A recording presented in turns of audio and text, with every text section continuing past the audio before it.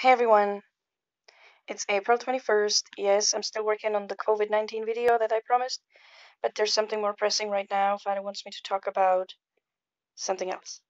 So it'll be several issues. This is not an easy topic for me, but I'm going to try my best to convey it, okay? So, where do we start? This is kind of a continuation from the message that I did a couple of days ago, or simply from the last video, but I'm going to expand on it. Okay, so I've been on YouTube for four years. I've been within the End Times community for like five, six years, and I've gone through different phases myself.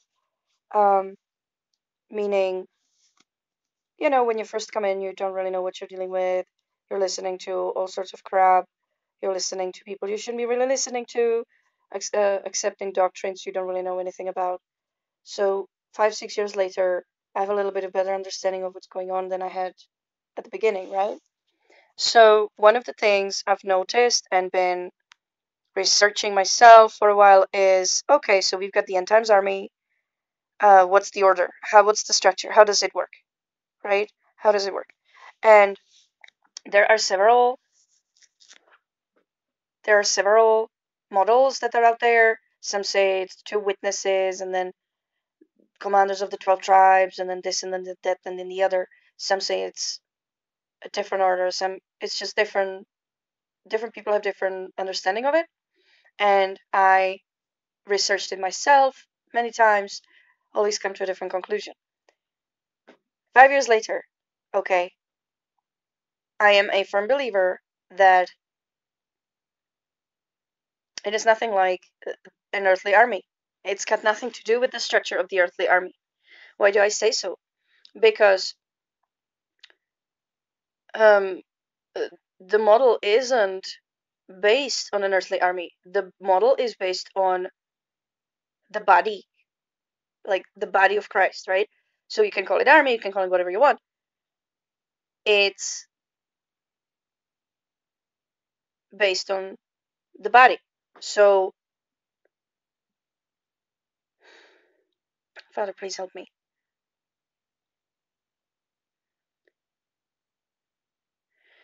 The human body is a collection of cells, right?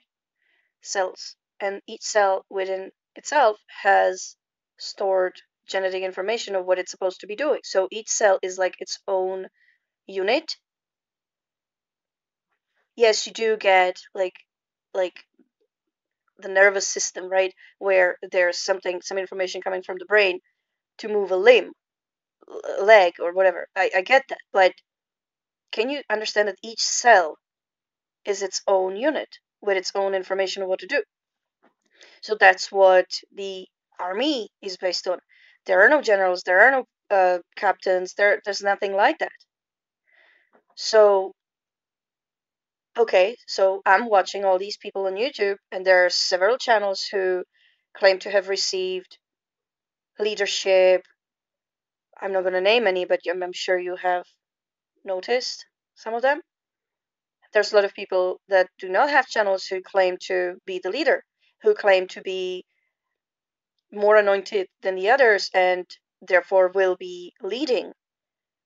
Um, I oftentimes have to deal with these people on my comment section. Okay, they come to me, they state who they are, and they want me to recognize them as the leaders. So here's why I'm talking about it. Father showed me something very important a few weeks ago. Okay, so the Bible speaks of um, of the fact that there are two different human species on this planet. And I don't mean physically, I mean spiritually. There are those humans that came from light, and there are those humans that came from darkness. If you're not familiar with this concept, um, it is in Matthew, I think, chapter either 14, 15, 16, 17, where Jesus is given the parable of the harvest, or no, parable of the field. Go look it up. He speaks of some coming from the light and some coming from the darkness. So, Father disclosed to me that we're talking about 1 billion people here on earth either originated from light or will come back to it or whatever, but he's talking about 1 billion of his children on this earth. So since there's about 7.5 billion, uh, we're outnumbered by about 6 to 1. Okay? And so there is 1 billion of his children on this earth right now. And Father tells me that there is no favoritism in his kingdom. He loves everybody equally and everybody gets the same opportunity. And so he called out to each and every one of his child here. When I say he called out, I mean he sent his Holy Spirit to each and every one of his children. And here, it, here lies the problem. Okay, so when I was called, it was September 2015. I had a profound experience that changed my life completely. Um, it wasn't a visual, it wasn't an audible. He basically spoke to me in my spirit and had me uh, experience love that he has for his children. And it, it changed me profoundly, okay, that experience. And so my response to that was, okay, Father, what do you have me do? What am I supposed to do for the kingdom? I get it. I hear you. Just give me the orders, right? How can I be useful? So that was my calling. He spoke to me in a way that I can recognize, that I can understand, that I can decipher. I'm not an audible learner. I'm not a visual learner. I need a thought, a complex thought implanted in me. And that's what he does to me. That's how he talks to me. It's like telepathy. It's it's it's a complete concept that comes to me out of nowhere. And I recognize it that it's not coming from my own mind because it's not. It's surprising. I'm minding my own business and suddenly there's this whole new reality going on for me, okay? So that's me. Now, other of his children receive the call differently because they learn differently. So some gets visions, some gets audible, some gets dreams, some get, you know, just a uniquely tailored experience to get their attention. What I've witnessed is this. While some like me answer the call in a, in a way of, okay, Father, I hear you. What do you want me to do? Some answer it, or some take it as if, oh, I was called by God. I must be special. I must be special. He said to me this, he said to me that. It must mean I am somebody special in the kingdom of heaven. Right? A lot of people answer it like that. Let me tell you something, guys. We are all children of our Father. Call it a son, call it daughter, doesn't matter. So we when he acknowledges you as a son, he's just telling you you're his son. which you are. You're his child. To top it up,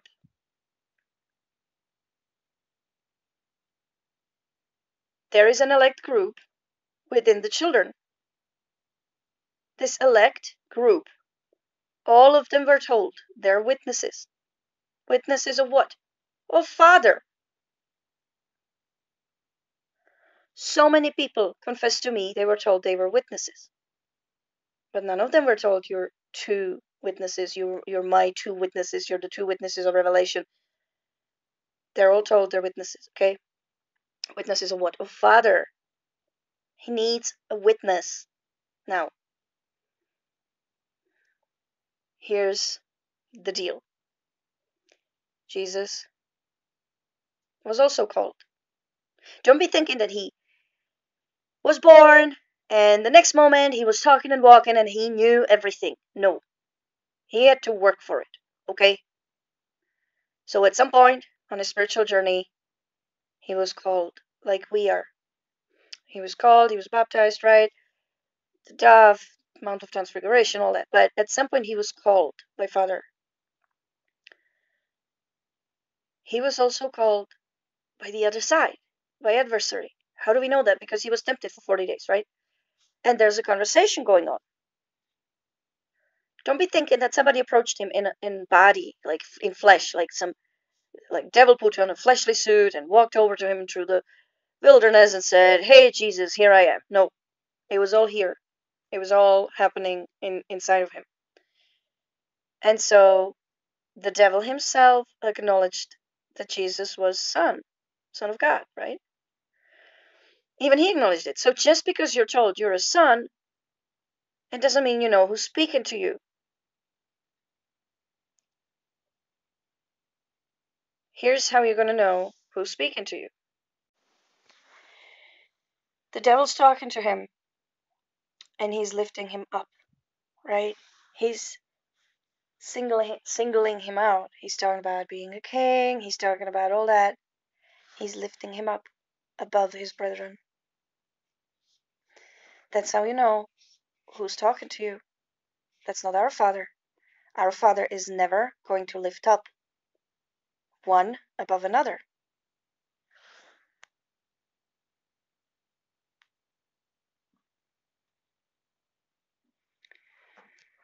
And so we're all being spoken to by both sides. One is saying, You're my son, I'm your father, you're you're you're an heir to you're a joint heir. Let's do something really good here. And the other one is lifting you up. The other one is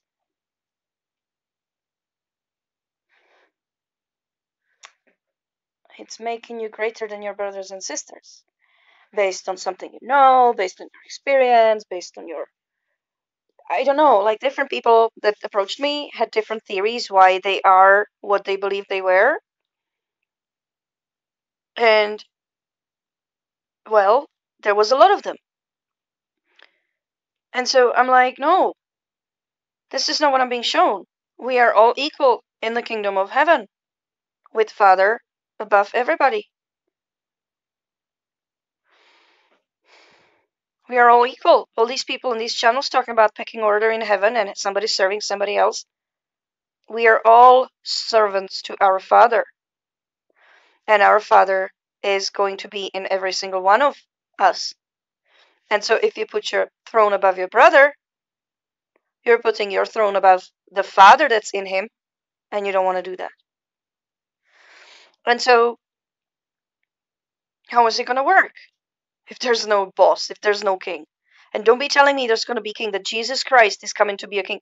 No.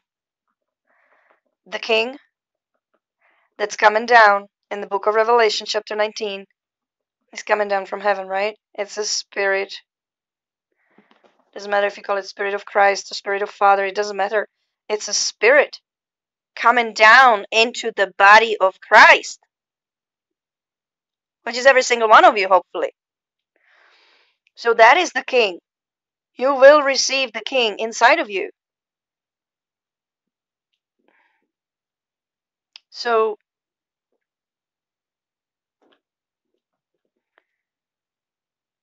some people take their calling as calling to action, to work on the kingdom of heaven coming down to earth.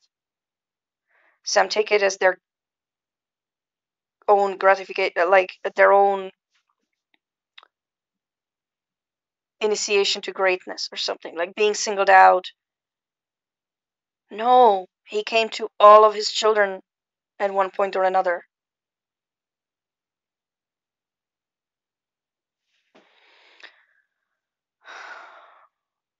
Every time I'm being told by somebody that they are the leader and I don't acknowledge it, they all play the same they all play the same cards. First, they're going to say that I'm a, I'm a woman, so I have to acknowledge them as males. Secondly, they play, you know, the I'm more spiritual than you card because of my age, I'm 36, and they're usually older, or because they've studied the Bible for so long, or because of some experience they had and that they claim I didn't have. Then they play the age card usually, if they don't play the spiritual card. Um, it's nasty. It's always the same story. Their experience, greater than mine, my age disqualifies me to even know what I'm talking about, my gender, they're a woman. And some of them tell me that if I don't recognize them as the leaders, I must be talking to the devil. I must be of a different spirit than them. Well, let me tell you, if the spirit talking to you is lifting you up above your brethren, damn well I'm not talking to that spirit. You can count on that. If you're being told you're going to call the shots, you're going to run the kingdom of God, and not God run the kingdom of God, then definitely I'm not talking to the same source as you. So call me whatever. It doesn't work. The only spirit that ever wants to lift you up above your brethren is the devil, adversary, whatever you want to call it. Okay? So whenever you're told that, that you're gonna be something more, you are something more, I know who's talking to you. It's nasty. If you think you can place your throne above mine and not insult the Father in me by doing that, you're wrong. So many have done it.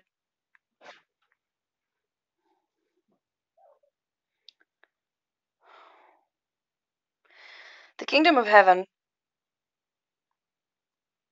needs certain roles to be fulfilled. That is true. There are apostles, there are teachers. Okay. An apostle is, well, the word itself comes from um, Greek words that means to be sent forth. Okay. An apostle at the times when Jesus was walking the earth was a word that everybody knew in the Roman Empire because it was an office where if the Roman Empire conquered new land, an apostle of the Roman Empire was sent to that newly acquired land to imp- to like introduce um, the culture of the Roman Empire and maybe choose civil servants that were going to take care of it. Oh, Lucy, me, what you doing? Right. So the apostle was somebody who was enforcing a cultural, the culture of the of the kingdom to be implemented in the new land. That's an apostle. That's why Jesus had the 12 apostles. He sent them to acquire the land and impose the culture of the heavenly kingdom on these newly acquired lands. That's why he gave them the ability to cast out unclean spirits. People think this is about just people. No. They went forth and told the spirits that were in charge of the land to get lost because this land is now acquired for the children of the Most High God. Okay? And so the apostles, they're not there to tell everybody what to do. No, no, no, no, no, no. You're supposed to receive your information from your father about your portion of the work. And you will find out that it is in harmony with all the other people's work. But the apostles are there to represent the kingdom outwardly and to you know, make sure that the culture of the heavenly kingdom is being applied correctly. But there are no generals, there are no. It's not like they call the shots, not at all. And then you got the teachers, and the teachers teach, and that's about it. Other than that, within the kingdom, everybody is responsible for their own for their own life, for their own growth, with Father, and Father has perfect plan for them if they would only ask. So we pray, right, in the Lord's Prayer that, well, thy kingdom come on earth that is it is as it is in heaven. We are literally praying for the kingdom of heaven to come down to earth. So how is that going to be if most people don't even believe such thing is possible? In Matthew 6:33 we're told seek first the kingdom of heaven and God's righteousness and everything else will be given to you. And so during this time when people are locked up at home Father tells me most of his children are just sitting there either waiting for rapture or just watching the news, doing absolutely nothing, being worried about earthly stuff. He said to you to seek out first the heavenly kingdom. What does that mean?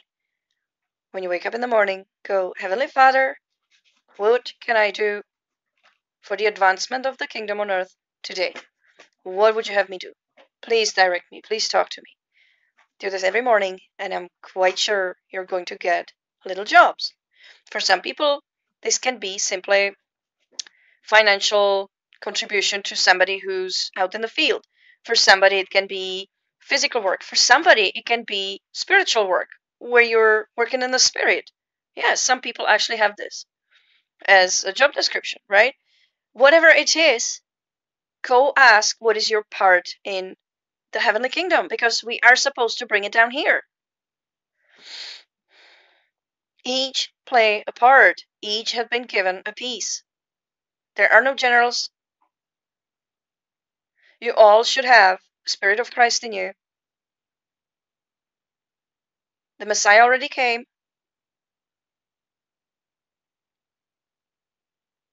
Now it's your turn with the Spirit of Christ to bring the kingdom down. Seek Father. Seek the kingdom.